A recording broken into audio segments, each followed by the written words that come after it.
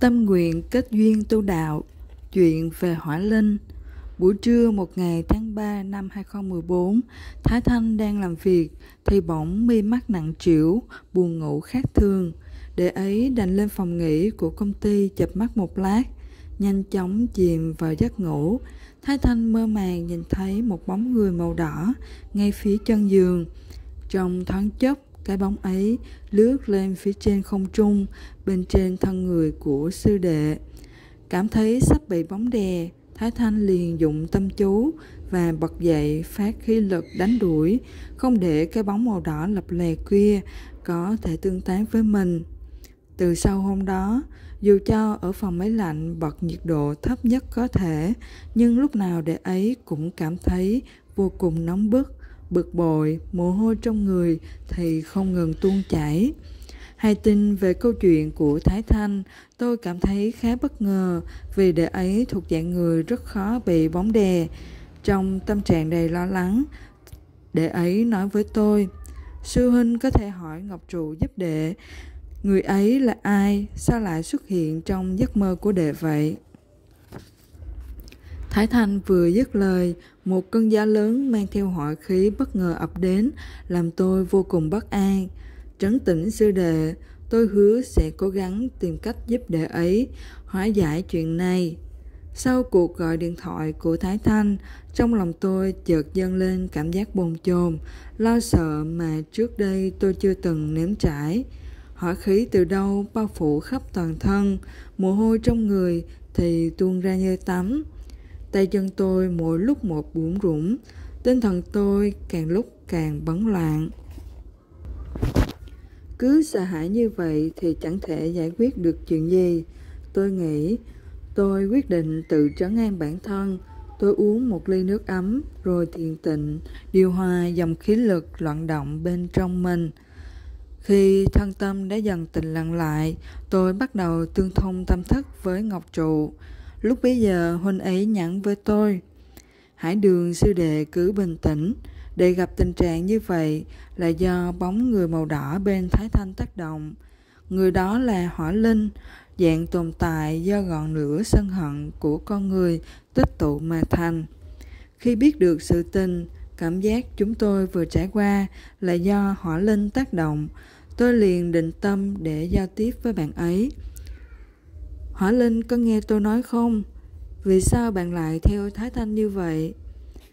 Hỏa Linh xuất hiện, trả lời câu hỏi của tôi bằng giọng điệu buồn bã. Tôi thấy người kia có chút đạo hạnh, muốn theo tu tập. Chưa kịp mở lời thì đã bị huynh ấy ra tay động thủ. Hỏa Linh đừng buồn, nếu bạn muốn tu đạo, tôi sẽ dẫn duyên đặng để về với cửu thiên nơi Hải Đường và Thái Thanh đang tu tập, ngày ngày lập công bồi đức, có ngày chứng quả đắc đạo.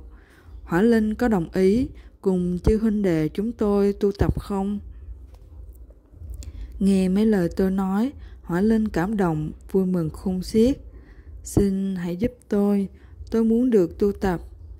Chỉ chờ có thế, tôi liền triệu thỉnh chư vị hộ pháp long thần cùng chư anh linh nơi cõi vô hình trợ duyên để đưa hỏa linh về với cửu thiên. Hỏa linh vừa hồi cung thì hỏa khí xung quanh tôi cũng dần tan biến. Mồ hôi ngừng tuôn, cơ thể mát mẻ, tinh thần sảng khoái trở lại.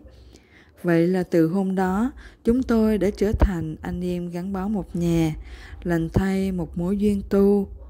Hỏa linh là dạng tồn tại được hình thành bởi những cảm xúc sân si, oán hận của con người với nhau, giữa chốn thành thị. Nhưng suy cho cùng cũng do sự sợ hãi, bất an, cảm thấy bị yếu thế, cảm thấy bị tổn thương mà chúng sinh mới phát khởi những nguồn năng lực tiêu cực như vậy. Cảm thương thay, dạng tồn tại ấy cũng khao khát cơ duyên được hồi hướng nương theo chánh pháp, nói theo đại hạnh của các hành giả. Một mối duyên lành, suýt chút nữa đã biến thành nỗi oán hận chồng chất do hành giả chưa hiểu được nguồn cơn vì cảm thấy bất an mà gây nên nghiệp bất thiện. May nhờ có Ngọc Trụ nhắc nhở, chỉ điểm, Hải Đường đã có thể tịnh tâm, tỉnh táo mà giao tiếp, hóa giải những khúc mắc giữa hỏa linh và thái thanh một cách trọn vẹn sự phẫn nộ, tức giận, đôi khi chỉ cần một bên chịu lắng lòng mình lại, chịu lặng yên, lắng nghe để thấu hiểu, cảm thông với đối phương. Khi ấy, những vướng mắc gây nên tranh đấu kia sẽ có thể được hóa giải chỉ bằng vài câu nói hay hành động chân thành và dễ mến đông đầy tình cảm yêu thương và trân trọng mỗi người đến với ta trong cuộc đời này đều có cơ duyên sắp đặt. Người xưa thường nói, chẳng đánh kẻ chạy lại cũng vì trân trọng những mối nhân duyên đến với mình. Dù người ấy có đáng sợ đến đâu đi chăng nữa, ta cũng nên bình tĩnh tìm hiểu cớ sự, chứ không nên vì một chút sợ hãi nhất thời mà ra tay sử dụng bạo lực để đàn áp. Do đó giữ cho tâm tình luôn bình lặng, an yên trước những lý sự, sóng gió của cuộc đời là điều mà các hành giả cần nên rèn luyện mỗi ngày. Muốn đạt được điều này, ta cần lấy thương yêu hòa đồng và tôn trọng vạn vật quanh mình để làm nền tảng. Có như vậy, ta mới hạn chế được những hiểu lầm đáng tiếc, cũng như phòng tránh được những nghiệp bất thiện không đáng có tâm bất biến giữa dòng đời vạn biến. Tâm bình thường thị đạo, tự nhiên sẽ luôn bình yên, an lạc giữa đời.